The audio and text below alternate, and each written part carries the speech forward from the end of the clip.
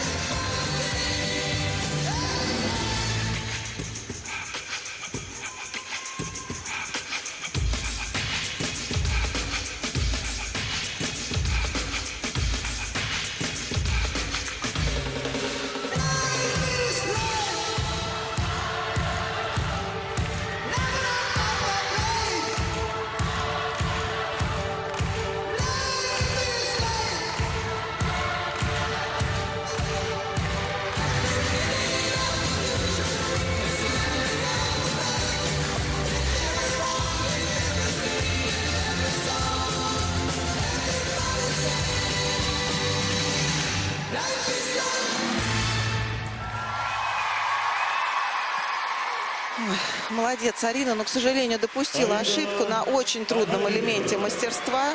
И очень это обидно, так как э, Арина выполняет очень трудные, очень трудные элементы с предметом, просто необыкновенные, практически цирковые.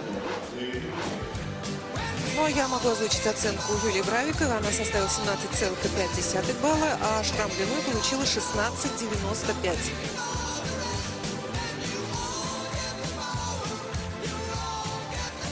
Веры Николаевна Шаталина.